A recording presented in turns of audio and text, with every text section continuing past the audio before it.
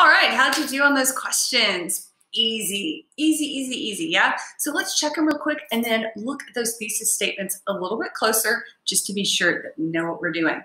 So our first question asked us to look at this example introduction about um, factors that we should consider when picking a new television show and asked us which of these sentences are part of the general ideas. And remember, in our introductions, our general ideas are usually going to be the first and maybe the second sentence of the paragraph.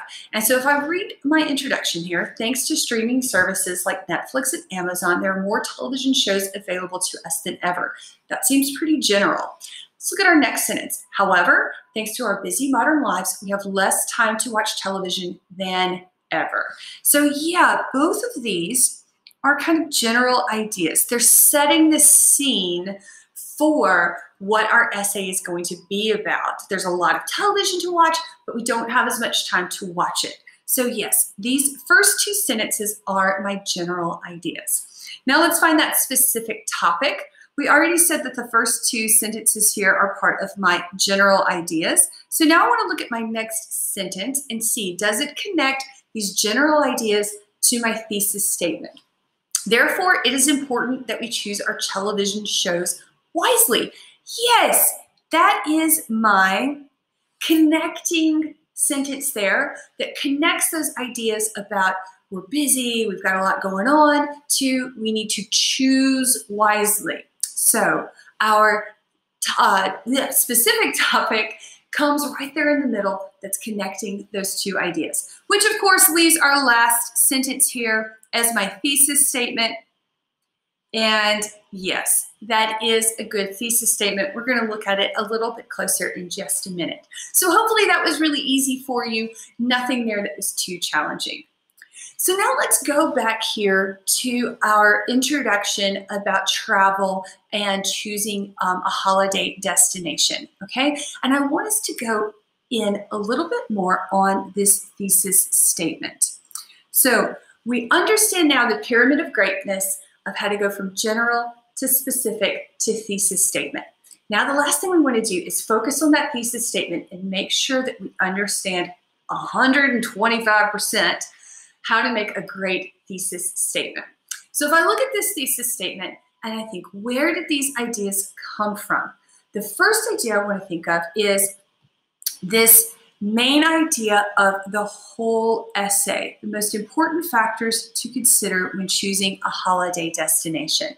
And if I look back at my question, I see that idea right there in my essay question. It says the factors to consider in choosing a holiday destination. So all I've done is I've taken those same words, important factors, consider, choosing, holiday destination, and just changed the grammar to make it from a question to a statement, right? And I've added that in my opinion.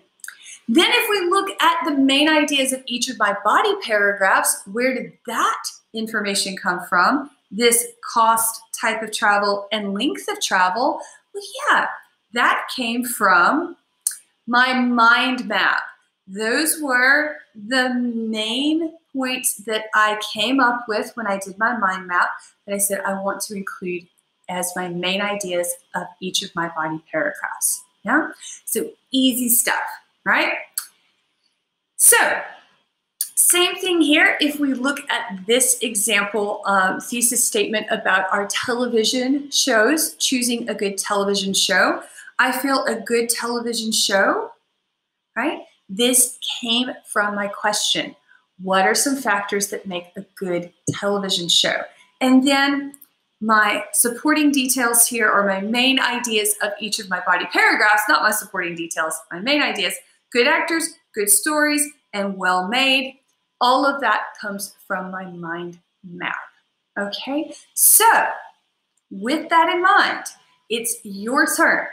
We've got some examples below of some questions and mind maps, and I want you to practice writing some thesis statements that would be perfect in an introduction with that question and that mind map. So go do that, and then we'll come back and we'll see. Do your thesis statement and my thesis statement get along? Are they similar? Are they very different? We'll find out soon.